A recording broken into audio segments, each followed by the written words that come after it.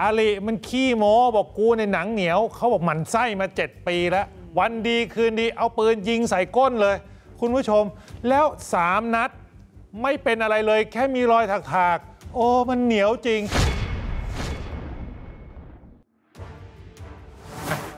นายวาร์ฟเนี่ยบอกว่าอะผมยอมรับผมเหม็นขี้หน้ามัน มันชอบอวดอ้างว่ากูเนี่ยหนังเหนียวมีของดียิงฟันไม่เข้า ผมอยากลองกับมันมานานแล้ว ไม่มีโอกาสสักที ล่าสุดมันมาขโมยปลาผม ผมก็เลยได้จังหวะเอาปืนซัดเปรี้ยงเข้าไป เออยอมรับ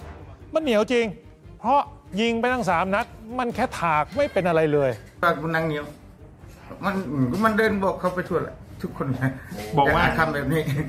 บอกบอกบอกคนในหมู่บ้านว่ายังไงครับว่ามันนางเหนียว มันมันยิ่งง่ายมันยิ่งไม่เข้าไปเรียนมาจากไหน ไม่รู้มันเห็นแต่ก่อนมันใส่พระเยอะเต็มพัดเต็มคอเลยครับ ทุกวันนี้มันขายไม่ทำอะไรหมดแล้วพอพอดีมาเจอพี่ด้วยใช่ไหมครับ แล้วเขามาท้าทายพี่อีกครับผมไงฮะที่มันเคยตีผมไงเคยเป็นอดีตกันมาก่อนครับ อืมแล้ววันเกิดเหตุเนี่ยคือไปเจอกันยังไงครับ มันผมผมไอ้ลงไอ้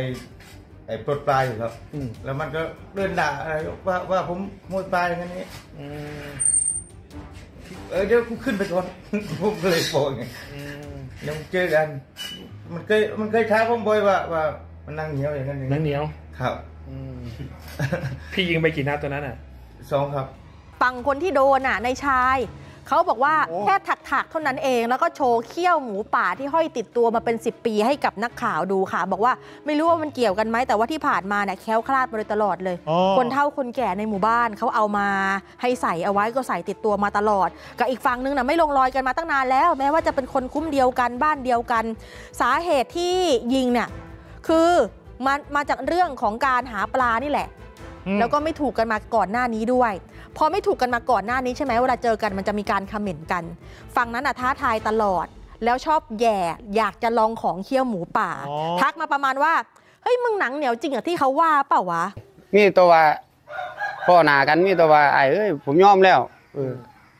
จะอย่างผมท้อมีตัวพี่น้องกันผมวาจังที ผมก็ลบตลอดเด้แล้วเพิ่นที่บอกว่าพี่หนังเหนียวน่ะใช่ไหมบ่ผมบ่เคยว่าผมหนังเหนียวจักเทียเด้อเออแล้วแต่แต่เพิ่นเว้าเองมึงหนังเหนียวบ่เพิ่นว่าอืมเออเพิ่นก็ยิงมายิงไปกี่นัดตัวนั้นอะ ยิงสองนัดครับฮะสองนัดสองนัดผมก็ย่างแท่งปลาไปผมล่ะได้ยินเสียงปืนปังนังนึงผมก็แย่งแบตไปเรามึงหนังเหนียวบ่แล้วก็ยิงอีกซับอีกก็ก็ก็แตกปังกับเขานี่ผมอีกเออผมเข้าเข้าดาร์กครับเขาดักอั ปเดต 34 HD App เวอร์ชันใหม่ รางวัลใหญ่รออยู่นะคะ